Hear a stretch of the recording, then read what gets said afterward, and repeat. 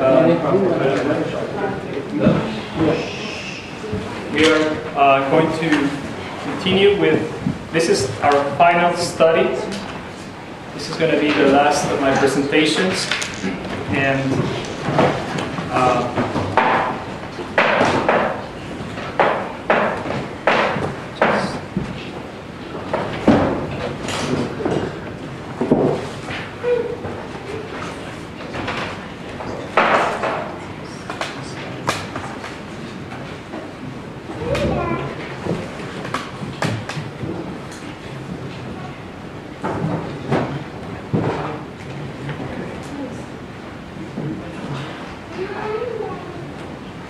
I apologize. Let us begin another time with a, word prayer so we can start praying.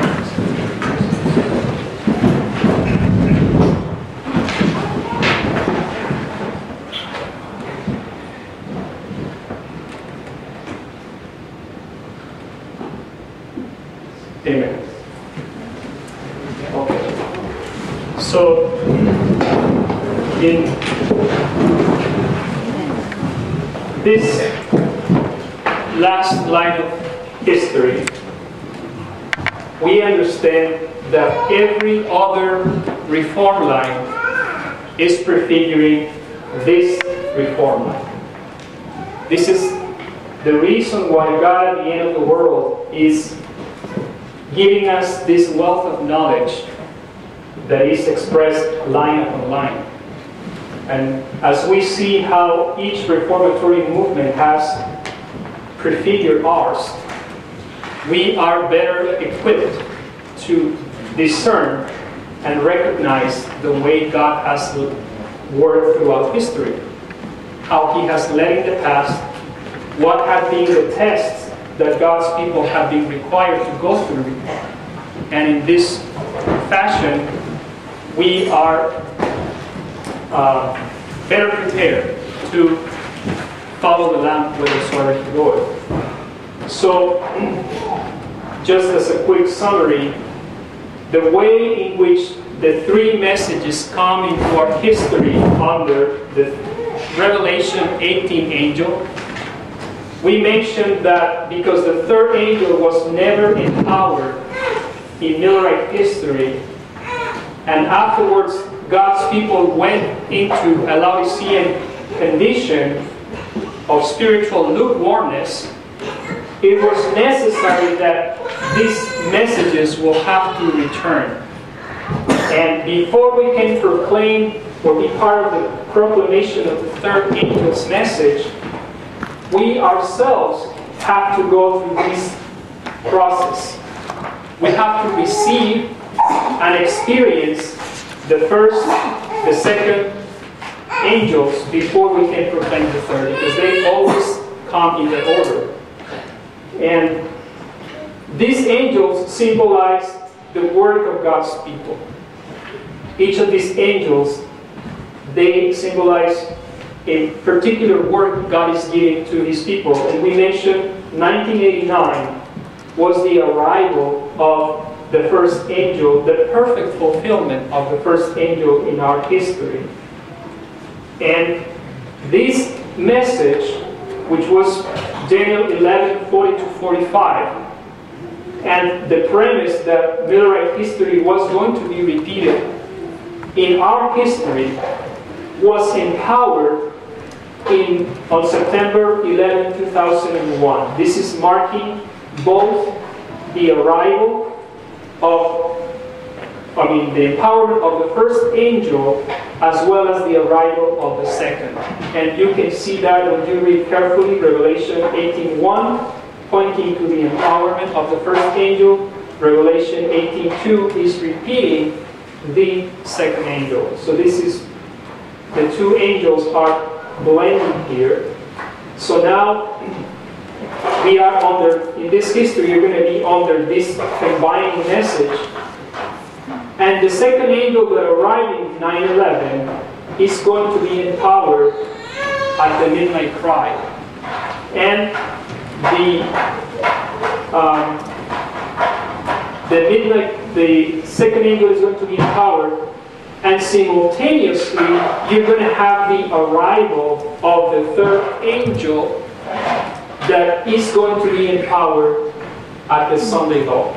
So this is the, the logical sequence, and this is the work of combining the messages.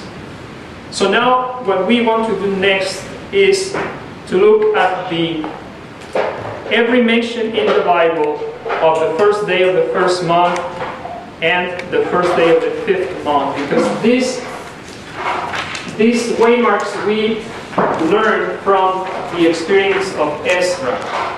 And we already saw how Ezra was typifying Millerite history. He began to come out of Babylon, first day of the first month. And in Millerite history, there was a call of Babylon on April 19, 1844. And four months later, on the first day of the fifth month, Ezra was arriving to Jerusalem and he was carrying a decree within his hand. And this corresponds with August 11, 1844, when, I'm sorry, August 15, 1844, when the Exeter camp meeting, during the Exeter camp meeting, the message was, uh, was empowered. And the Midnight Cry was empowered in that history when Samuel Snow was able to convey uh, the logic for identifying the closing of the door in their history. And um, these waymarks of the history of Ezra 7 9, we also see them repeating in our history. We have on September 11, 2001, we have the first day of the first month. And when the midnight cry arrives in history is going to be fulfilling the first day of the fifth month. And next, the tenth day of the seventh month, this is the tenth day of the seventh month, is the perfect fulfillment of the Day of Atonement. Because this is when the sanctuary is going to be cleansed and no more sinners will uh, walk in Zion. This is when the church triumphant will be formed. And so now we're going to see these references in the Bible. We go to, we turn to Ezra 10, verse 16 and 17. This is one mention of the first day of the first month. We read, And the children of the captivity did so, and Ezra the priest with certain chief of the fathers, after the house of their fathers, and all of them by their names were separated and sat down in the first day of the tenth month to examine the matter. What he's telling us when you read the context of this history is that Ezra's attention was called to the fact that God's people that had arrived to Jerusalem, they, they found that there, there was a problem because God's people had mingled with the inhabitants of the land and uh, of other nations. And they have taken strange wives and married them. So they made a, an agreement that they were going to take, or a covenant, that they were going to put away the strange wives. And we read in verse 17, and they made an end with all the men that had taken strange wives by the first day of the first month. So, first day of the first month marks when the strange wives are going to be, to be put away. Millerite history, this is marking a separation. Wife in Bible is a Bible symbol for church or doctrines, because doctrine is what makes a church.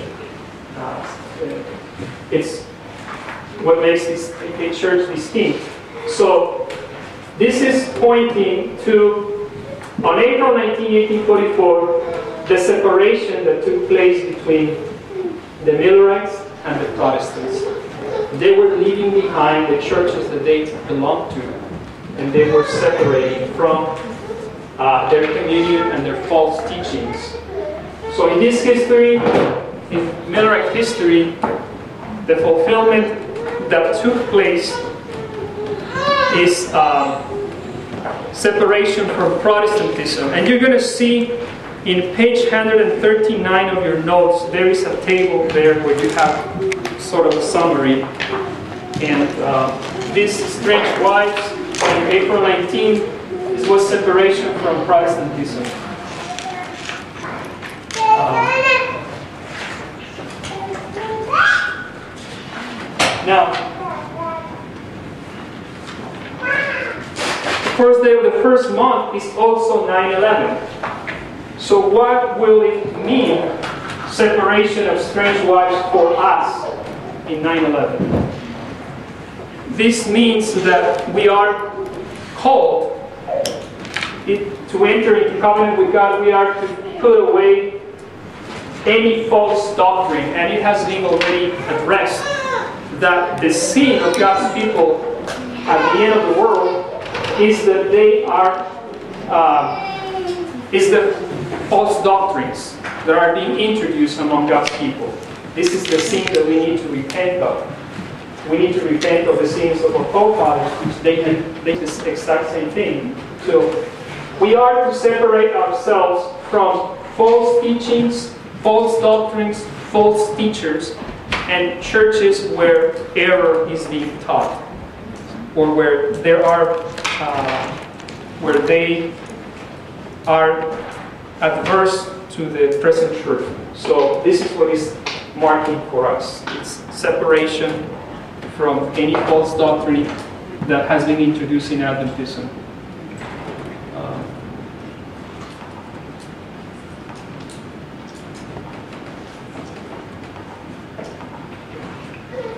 next reference to first day of the first month we find in Ezekiel chapter 29, verses 17 through 21. This is addressing um, the wages for the king of the north. We read Ezekiel 29 17. And it came to pass in the seventh and twentieth year, in the first month, in the first day of the month, the word of the Lord came unto me, saying, Son of man, Nebuchadnezzar, king of Babylon, caused his army to serve a great service against Tyrus. Every head was made bald, and every shoulder was peeled. Yet, head, yet had he no wages for his nor his army for Tyrus for the service that he had served against it. Therefore, thus said the Lord God, Behold, I will give the land of Egypt unto Nebuchadnezzar king of Babylon. And he shall take her multitude, and take her spoil, and take her prey, and it shall be the wages for his army.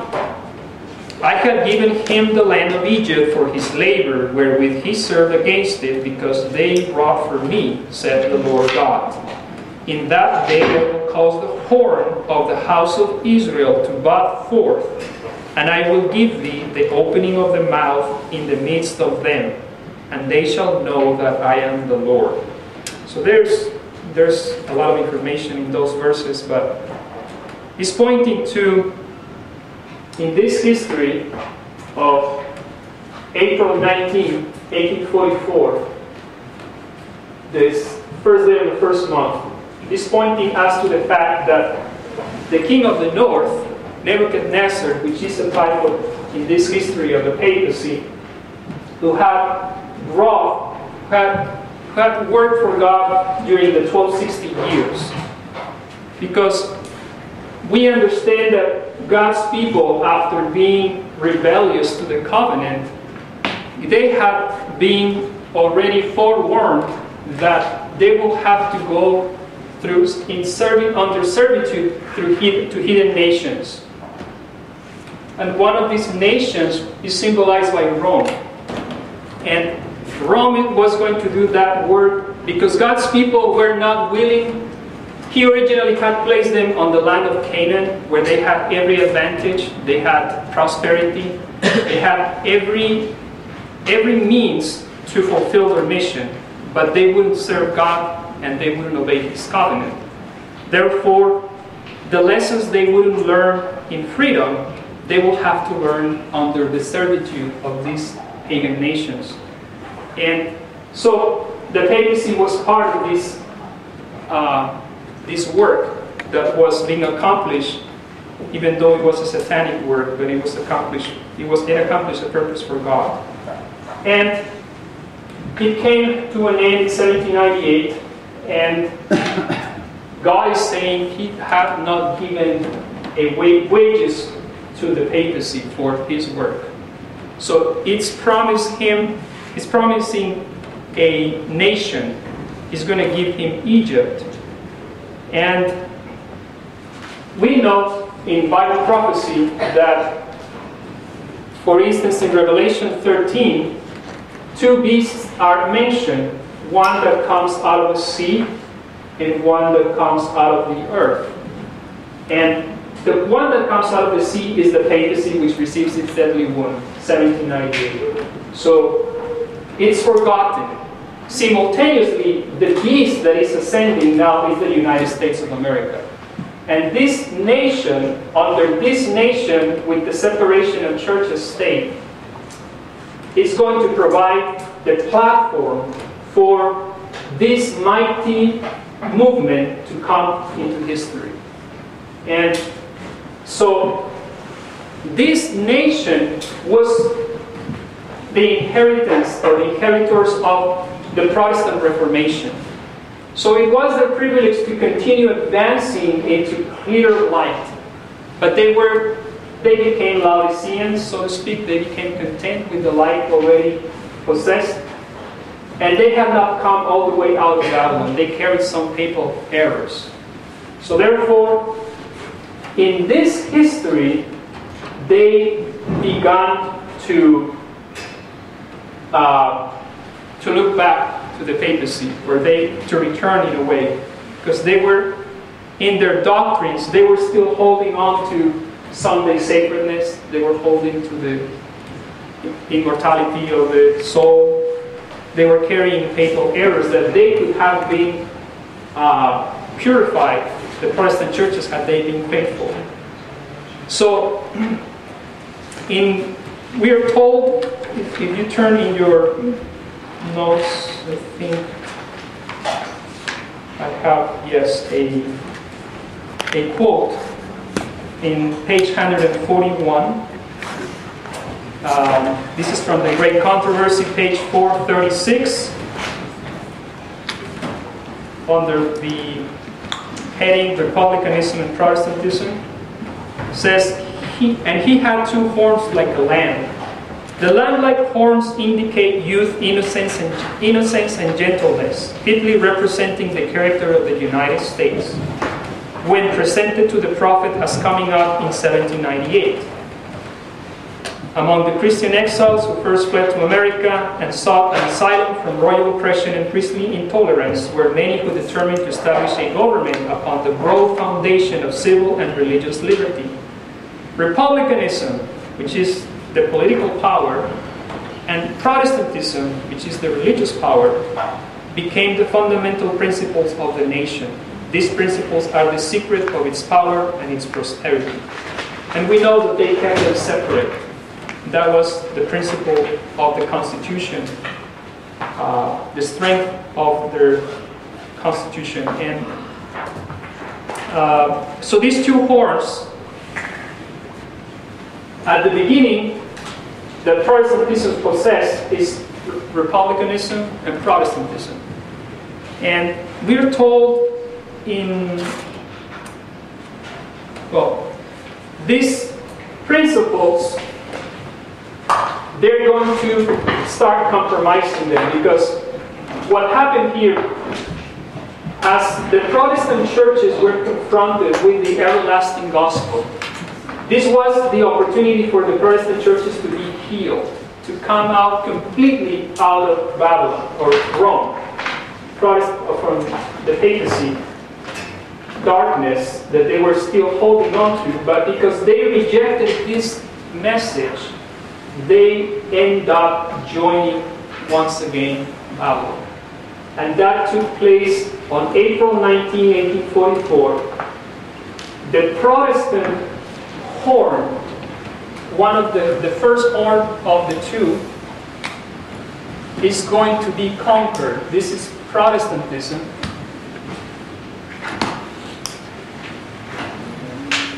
The religious component of the United States is going to be conquered when Protestantism is declared as fallen. So, Sister White is going to tell us something here that is relevant. In Great Controversy 389 is the same bottom of the page 141 of your notes. It says, the second angel's message of Revelation 14 was first preached in the summer of 1844. And it then had a more direct application to the churches of the United States, where the warning of the judgment had been most widely proclaimed and most generally rejected, and where the declension in the churches had been most rapid. But the, the message of the second angel did not reach its complete fulfillment in 1844. The churches then experienced a moral fall in consequence of the refusal of the light of the Advent message, but that fall was not complete. So he's pointing to the fact that when Protestantism was conquered, a moral fall took place. The moral fall was Protestantism. They were joining now the fallen church of the papacy. So this is what is marking in April 19 is God is going to promise to the promising to the to the papacy to give uh, the United States of America. And you have to remember that United States of America, even though in Bible prophecy is identified as the false prophet, he is also one of the ten kings. The ten kings are the civil nations, the governors and rulers of this world, the civil powers, civil and political powers, and the United States is uh, represented one of them. If I, if I understand correctly, is represented by Ahab, right? Was the king of ten, uh, the ten tribes, and he was in bed with uh, Jezebel, which is a symbol of the papacy. So, the United States is one of ten kings and is the ten kings represent Egypt. So it's the United States which is going to play a role at the end of the world to, to seduce the other kings of the world, to, to make the image to the beast and to impose Sunday laws. So here in April 1944, it's uh, it, this is the Protestantism was conquered.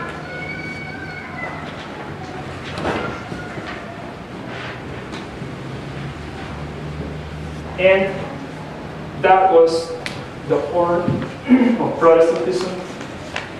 In our history, first day of the first month, September 11, 2001, what took place here is the conquering of the second horn of the United States, which is the political horn, which is Protestant, it's republicanism.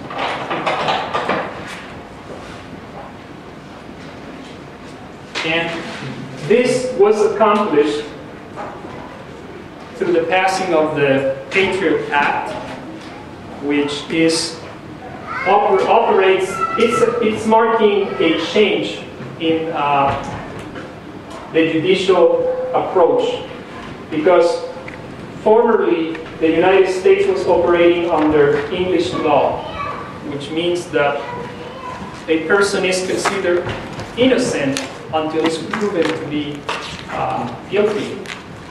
But on 9-11, they're going to switch to Roman law. In, under Roman law, a person that is convicted is considered to be guilty unless it is proven to be innocent. So it's the opposite. And this is taking place here. And this is marking that the United States, its political component, is already conquered. The government is already influenced. And the Sunday law could have been implemented shortly after, had not Islam come into the picture and create a distraction. Because now what is happening is that instead of the papacy being focused in identifying and destroying God's people, now both the papacy and the kingdoms of the world, the civil powers, they are focused on implementing resources and technology and everything that they have to try to restrain Islam.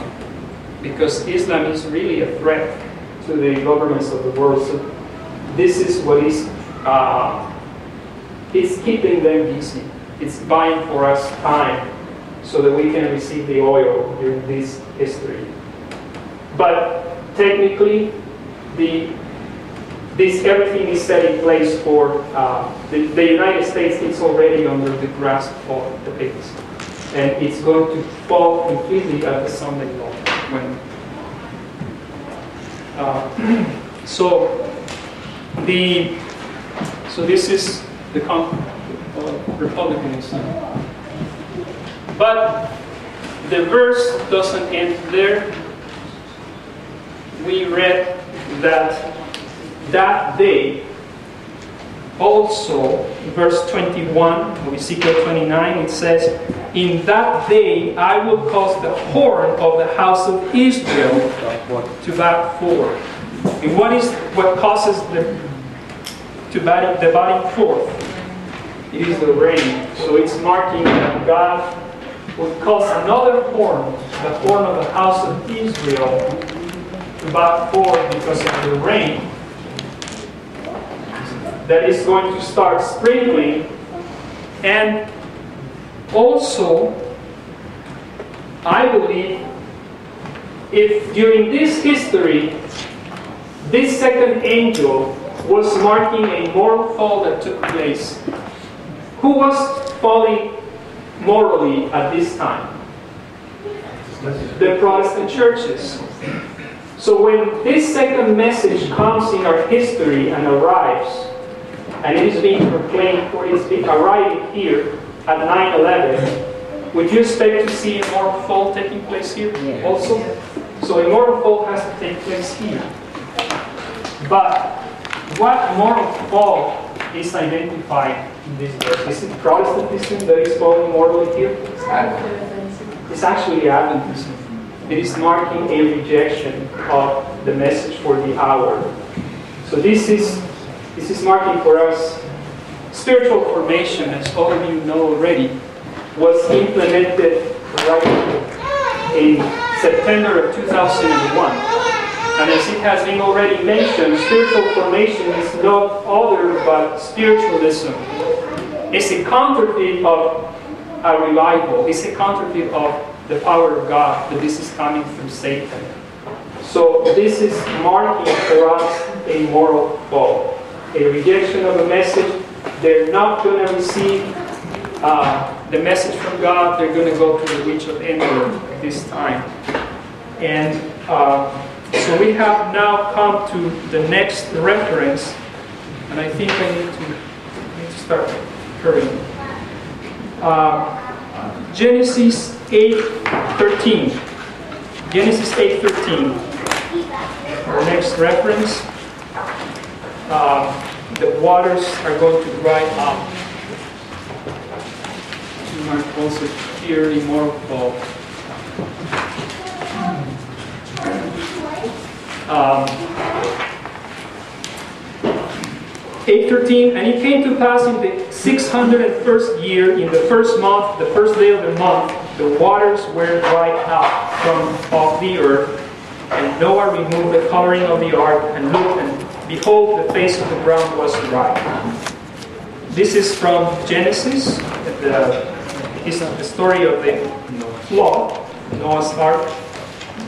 So the first day of the first month is marking when the water dries up. And there's a reference in Jeremiah, Jeremiah 15, 16 through 18. Jeremiah 15, 16 through 18, where the experience of the Millerites is presented, has already been addressed here by Brother Jeff.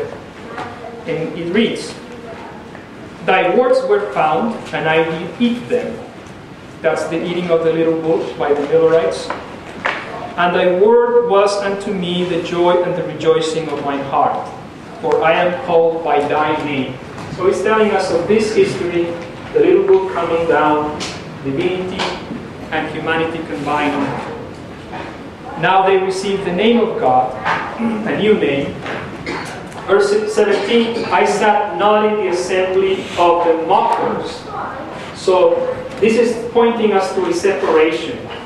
I sat not in the assembly of the mockers, nor rejoice. I sat alone because of thy hand. For thou hast filled me with indignation. This is pointing to the separation that took place between the Protestants, which became the mockers. They had to sit alone because of the hand of God that was covering any state that produced the first disappointment. Why is my pain perpetual? and my wound incurable, which refuses to be healed, will thou will thou be altogether unto me as a liar and as waters that fail. He's describing the experience of the first disappointment when they felt as if God had lied to them or as waters that fail. And we are we are told in Habakkuk chapter 2 that this the vision was to be written upon tables that he may run that readeth it, and though it tarry, wait for it, it, uh, it will it will not lie, it says. And so this is pointing definitely to that history when the waters fail or the waters dry out. And Exodus 17 7, it's another reference. The references in the Bible with, water dries out, you can, you can line them up on the first uh, of the first month. And it says, And he called the name of the place Massah and Meribah, Meribah because of the chiding of the children of Israel, and because they tempted the Lord, saying, Is the Lord among us or not? So he's taking us to Massah and Meribah. And Massah and Meribah, Massah means a testing uh, or trial, temptation, trial. It is a test. And Meribah means quarrel, controversy. So he's pointing to the controversy and the quarrel that started at this point with the, the. And um, in that history, and in our history, this is where the water is drying up. This is where we need to start asking rain in the time of the latter rain. We need to recognize we are at that time, so we need to be asking for that rain. And God is going to sprinkle and He's going to give us that, that water. But this is what is marking the controversy and the test the test that we are to go through, which has to do with a shaking or a controversy that we need to identify. Is it, was it on the first day of the first one, Yes. Yeah, uh, well, what, no, what we're saying is that any references where waters are drying up, we are lining up with the first day of the first month. Yes. It's, and we can go also to Numbers 20. Uh, Numbers 20, verses 1 through 3. Um, Numbers 20, verses 1 through 3.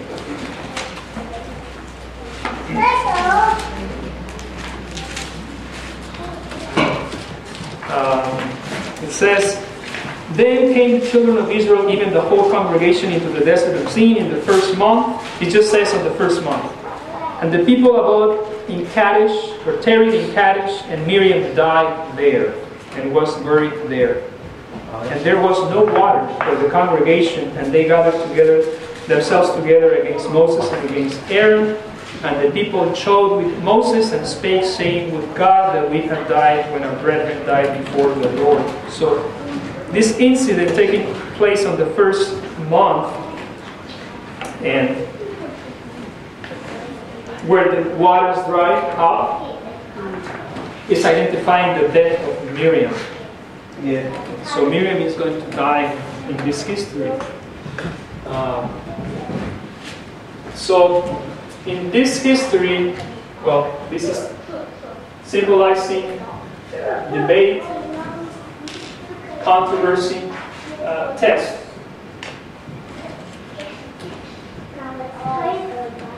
And uh, the death of Miriam at that point was the Protestant churches.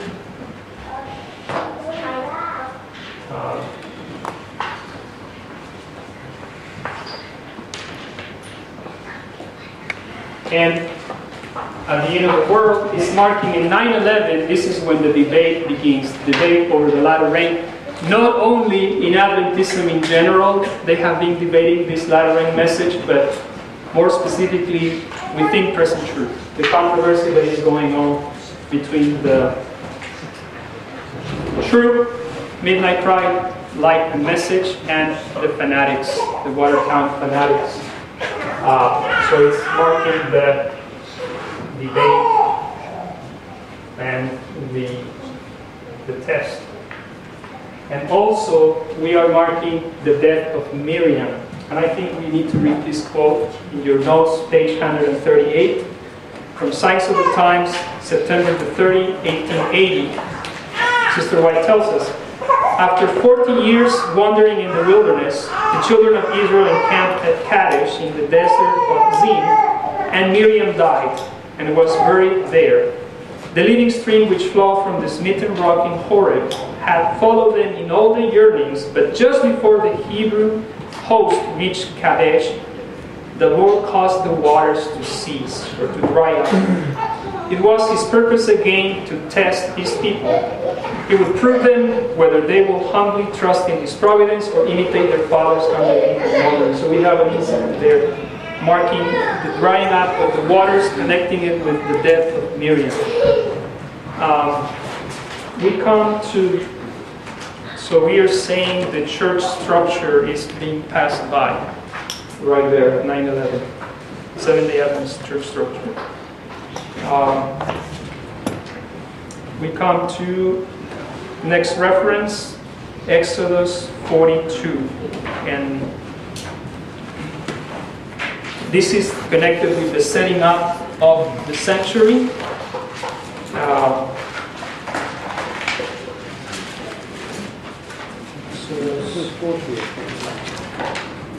it says uh, verses?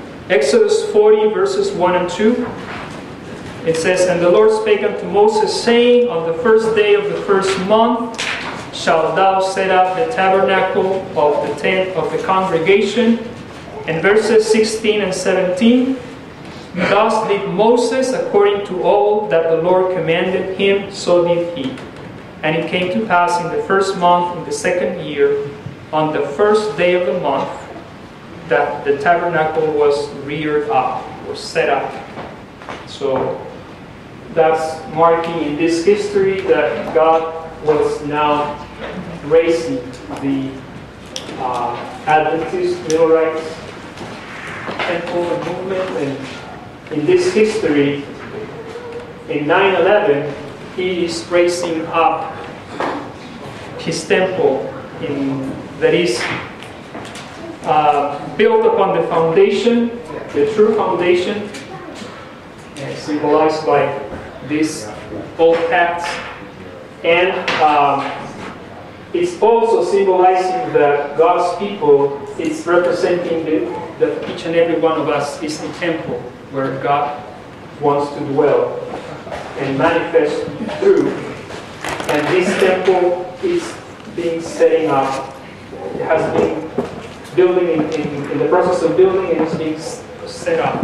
And now, as we proceed, we will see that that sanctuary or that temple has to be cleansed. It's being set up so that it can be cleansed or purified. Associated with that, we have um, the descending of the cloud, and this we will just briefly touch it in, in the verse um, 33 through 38 talks about, well, let's read 33 and 34. It says, And he re- reared up the court round about the tabernacle and the altar, and set up the hanging of the court gate. So Moses finished the work. Then a cloud covered the tent of the congregation, and the glory of the Lord filled the tabernacle. And Moses was not able to enter into the tent of the congregation because the cloud abode thereon, and the glory of the Lord filled the temple. So the cloud also descends on the first day of the first month when the temple is being set up. And if you jump to Numbers 15, you have the account, same account, and just a little bit more detail. It has already been read by Brother Mark, I believe. Numbers 9, 15 through 23. Um, it says, Numbers 9:15, and on the day that the tabernacle was reared up, that will be 9/11 in our time period, the cloud covered the tabernacle, namely the tent of the testimony, and at even there was upon the tabernacle as it were the appearance of fire until the morning. So it was the cloud covered it by day, and the appearance of fire by night. And when the cloud was taken out from the tabernacle, then after that the children of Israel journeyed. And in the place where the cloud abode, there the children of Israel pitched their tents. At the commandment of the Lord, the children of Israel journeyed, and at the commandment of the Lord they pitched. As long as the cloud abode upon the tabernacle, they rested in their tents. So this is telling us that God educated his people they were just following the cloud. When the cloud tarried, they were to do the same, to stay in their tents. And cloud moved, they were to follow. And this is equated to the commandment of the Lord. That's how it is expressed in these verses. And when the cloud tarried long upon the tabernacle many days, then the children of Israel kept the charge of the Lord and urinated not. It continues to to elaborate on that in the following verses. So, this cloud that descends on 9 11 is. Um, this has the purpose to signalize a tarrying time. It is time to tarry in our tents, tarry in Jerusalem until the cloud moves. And this is the commandment of the Lord for us. The next reference we found in 2 Chronicles 29, 17 through 18.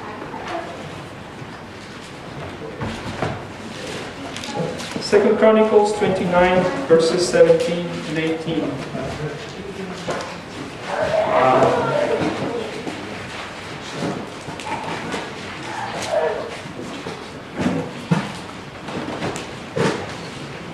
it says, Second Chronicles 29, 17 and 18. Now, they began, okay, for context, we can read from verse 12. I think we can read Second Chronicles 29. It says, Then the Levites, verse 12, then the Levites arose, Me- Mehat, the sons of Amasai. It's going to give a list of names of Levites. And it says, and this uh, verse 15, and they gathered their brethren and sanctified themselves and came according to the commandment of the king by the word of the Lord to cleanse the house of the Lord. So there's a gathering of Levites with the purpose of sanctifying themselves and cleansing the temple. And the priest went into the inner part of the house of the Lord to cleanse it, brought out all the uncleanness that they found in the temple of the Lord into the court of the house of the Lord. And the Levites took it and carried it out abroad into the brook of Kidron. Now they began on the first day of the first month to sanctify, and on the eighth day of the month came they to the porch of the Lord. So they sanctified the house of the Lord in eight days.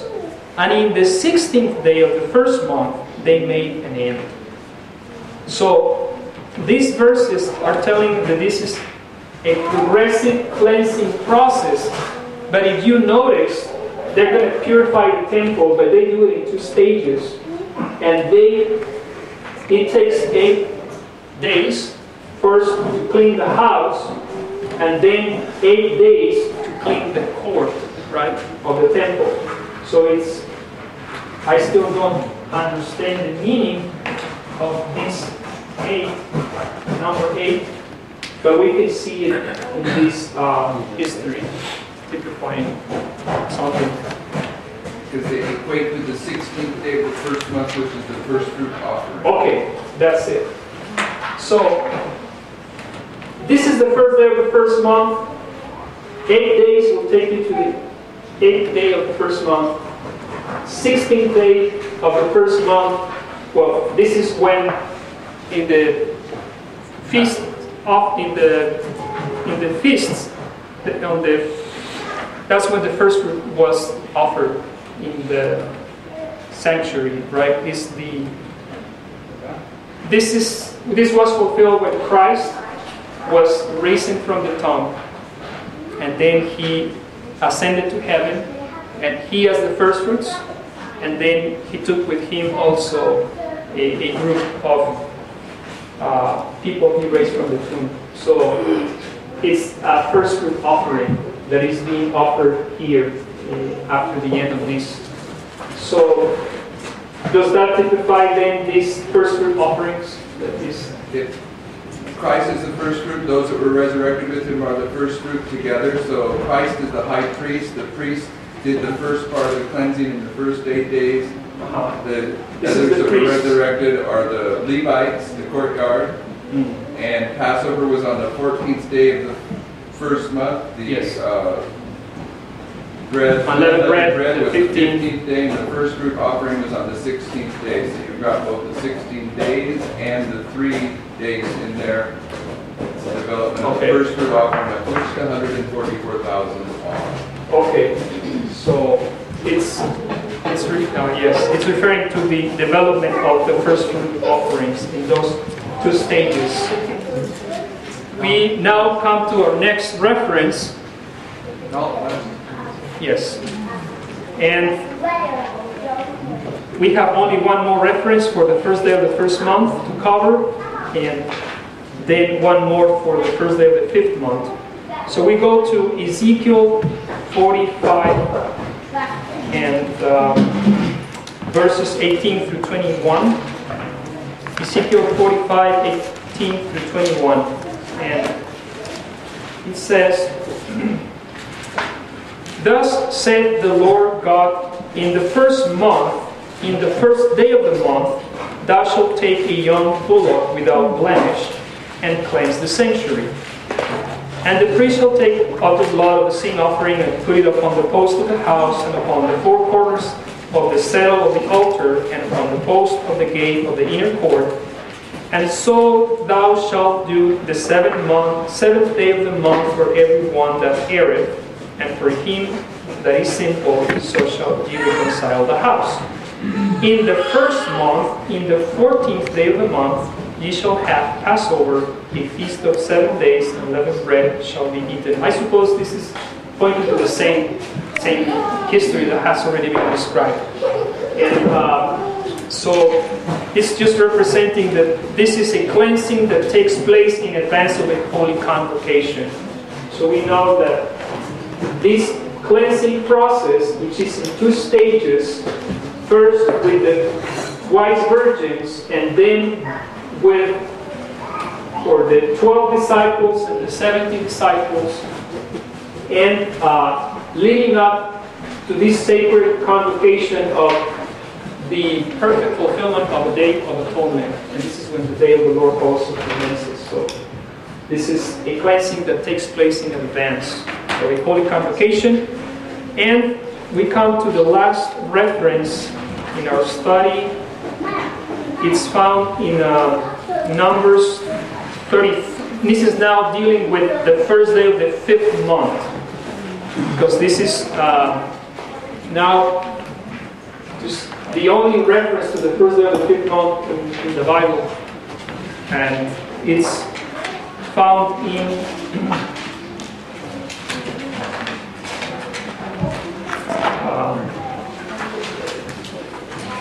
Numbers 33, 38. And it says, And Aaron the priest went up into the Mount Hor at the commandment of the Lord and died there. In the 40th year after the children of Israel came, were come out of the land of Egypt, in the first day of the fifth month. So we have the death of Aaron being uh, marked. Aaron dies. And then in Deuteronomy 10 6 through 8, it's another passage that is going to add information to this. Deuteronomy 10 6 through 8. And the children of Israel took the journey from Beeroth of the children of Jaakan to Moserah. There Aaron died, and there he was buried. And Eleazar, Eleazar, his son, ministered in the priest office in his stead. So he's being replaced by Eleazar, his son. From thence they journeyed unto Gudgodah, and from Gudgodah to Jotbah, a land of rivers of waters. And that's what I was pointing to you yesterday, that when we were looking into the Exeter camp meeting, August 15, 1844, Exeter meaning waters or an abundance of waters. This is marking the same, I believe, this verse when it says that Aaron is going to die here and he is going to be replaced by Eleazar. And Eleazar, we understand, is it means God's helper. It's pointing out to the role of the Holy Spirit that is, uh, is taking, uh,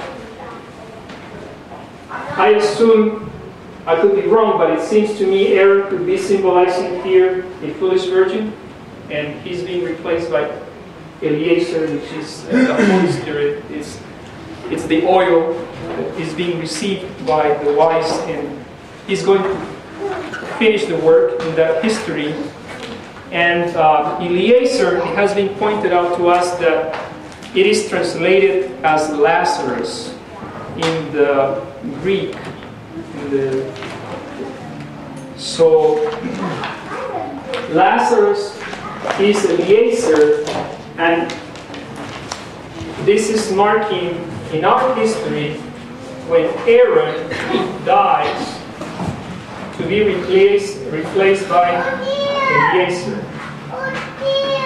Which is Lazarus. And we already know, we, I don't believe you're going to read all the quotes here, but we understand, well, let's read this one from Desire of Ages 529 as we are winding up this presentation says, in delaying to come to Lazarus or in tarrying, Christ had a purpose of mercy toward those who had not received him. He tarried that by raising Lazarus from the dead, he might give to his stubborn, unbelieving people another evidence that he was indeed the resurrection and the life.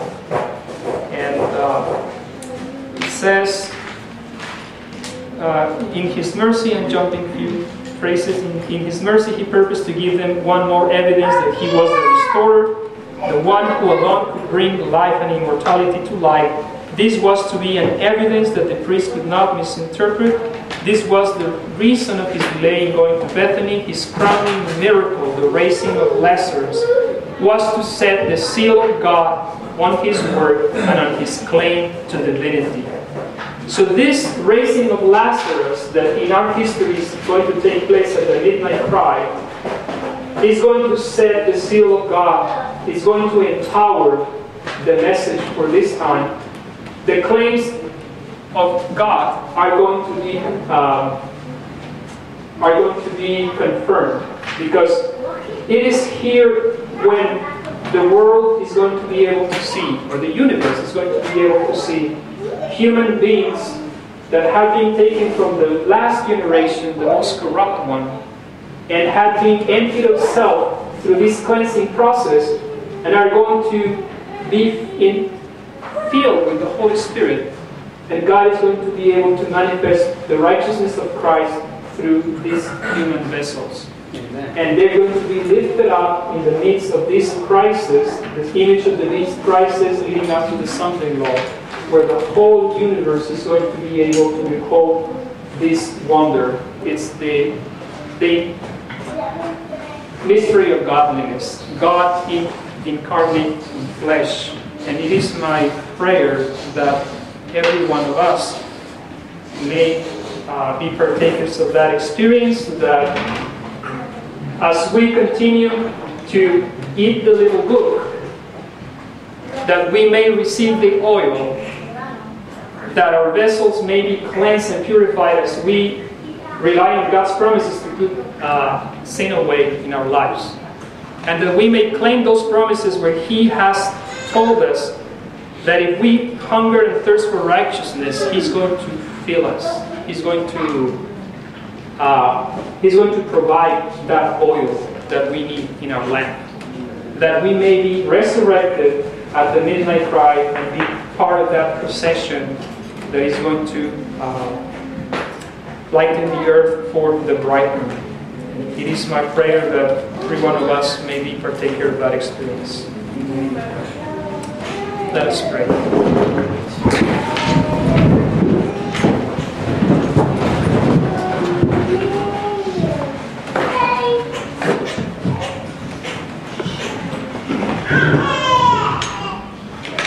Dear Father in heaven, uh, as the lion of the tribe of Judah continues to unfold these truths, we are trying, striving to comprehend the significance of these waymarks that you have opened from the story of Ezra, and how these two waymarks, first day of the first month, first day of the fifth month, they describe the time period that we live in. And they describe a period when you are tarrying with us, if we will tarry with you, that you may prepare us, that you may teach us, that you may fill us with the, the you will give us the oil, your promise to give us the oil in double measure if we tarry until the midnight cry and, and if we are faithful to your, to your word.